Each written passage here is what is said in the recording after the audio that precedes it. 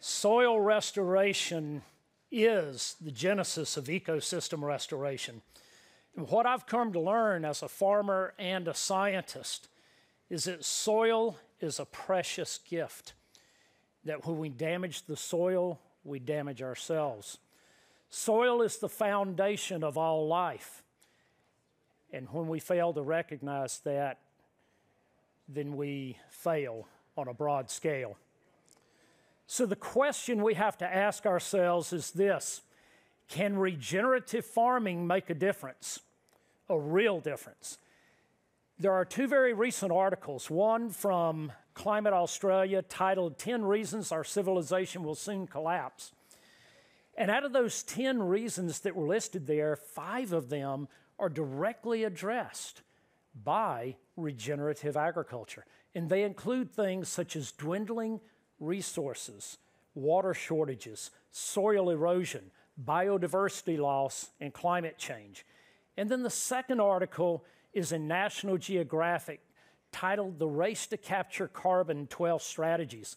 Strategy number five was listed as farming smarter. And we call that farming regeneratively. So we have to have a definition for regenerative agriculture. And within Understanding Ag, this is how we define it. We define it as farming and ranching in synchrony with nature to repair, rebuild, revitalize, and restore ecosystem function, starting with life within the soil and expanding to life above. So, what we have discovered is that we can use the domesticated livestock that we have today as a proxy for the more than 100 million wild ruminants that once roamed North America. And we can use these through biomimicry and ecomimicry to restore ecosystem diversity and to build significant soil fertility. So, as we move along the continuum from continuous or what many call conventional grazing to what we term adaptive multi paddock or AMP grazing, we begin to see life returning to the landscape. Again, starting with life beneath the soil surface and expanding to life above. So, let me take you on a journey across North America and give you three examples. Let's start in the Central Valley of California. Now, what you see before you are typical almond and walnut orchards. You see a lot of bare soil. And these growers are highly reliant on copious amounts of irrigation, synthetic fertility, and pesticides. But can we do it differently? Let's take a look. In the same Central Valley, this is a regenerative orchard. You see no bare soil here, none whatsoever. Every square foot of soil is covered by a highly complex, diverse cover crop mix. And then when we expand our regenerative principles and practices by adding livestock over top of that to add fertility and biology, we radically alter this landscape.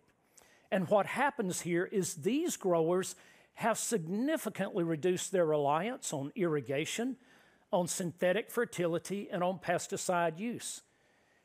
And by the way, the trees and the nut crops are much healthier, and they are generating additional revenue streams off of the exact same acres because of the livestock. Now let's go to the Chihuahuan Desert. Now you can drive for mile after mile through the desert, and this is what it looks like bare, exposed soil with sparse vegetation. So, can we take that and radically alter that? Can the desert be transformed? Well, using the simple tools of livestock, adaptive grazing, temporary fencing, herding, and water for the livestock, we can make a dramatic difference. So let me take you through time lapse photography here on one of these regenerative ranches. Let's go to the Las Damas Ranch in 2015. This is what the ranch looked like after the first couple of years of regenerative grazing. You see that some vegetation is appearing and we're beginning to get some ground cover, but there's still too much bare and exposed soil. But by 2018, you see a radical difference. we see the vast majority of the soil is now covered and there's a lot more vegetative growth. But then by 2021, we see explosive growth and tremendous biodiversity returning to the desert. So, what has that resulted in? Well, the Las Damas Ranch has now experienced a 350% increase in net revenue while growing four and a half times more plant biomass and being able to add two and a half times more livestock to the same landscape. But more importantly, we have seen an explosion in bird and wildlife populations to the extent that many threatened and endangered species of birds have now returned to this landscape because they have once again found a habitat that they cannot just survive in, but thrive in. And then the third example, let's go to the southeastern portion of the U.S. And here, we did a four year study where we compared regenerative farms to their neighboring conventional farming neighbors. We assembled a team of scientists that measured everything from beneath the soil surface to above. And let me share with you some of the key results. Let's start with greenhouse gas flux data. So we deployed Eddy-covariance flux towers on these farms, both the regenerative farms and the conventional farms. And what we found was that the regenerative farms were a four times more powerful CO2e sink, drawing down an average of 12.1 tons per hectare compared to just 2.9 tons per hectare for the conventional farms. We also noted three times more grassland birds. On the regenerative farms, we averaged counting 442 birds of nine species compared to just 152 birds of six species on the conventional farms. And keep in mind, many of these were direct next door neighbors, so the birds very much knew where the habitat was. We also found 33% more insect species diversity, 25% more living active microbes in the soil. And then when we look at effective rainfall, we found that the regenerative farms infiltrated 2.3 times more rainfall per acre per hour. This equated to an additional two inches per acre per hour. Now, what does that amount to? Well, an additional two inches per acre is another 54,000 gallons of water per acre.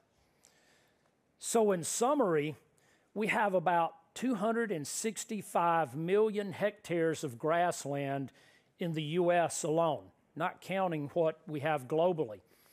If we were to regeneratively graze those 265 million hectares here in the US, we would draw down another 3.2 gigatons of CO2e annually while providing habitat to support an additional 740 million grassland birds and infiltrating a staggering 35.3 trillion more gallons of water into our soils. And remarkably, in this four year study in the southeast US, I'm proud to report that 80% of the conventional farmers have now transitioned to regenerative as a result of the power of this data. So here's, thank you. So here's where we need your help we've got a lot more acres to cover. So we've got to educate farmers and ranchers. So we need help defraying the cost for that boots on the ground, hands on education for them. And we also need to start this education a lot earlier. So, to that end, we have developed an online curriculum that we call Regen Ag 101. And our goal is to put that curriculum in the hands of every school kid across every school system. Thank you.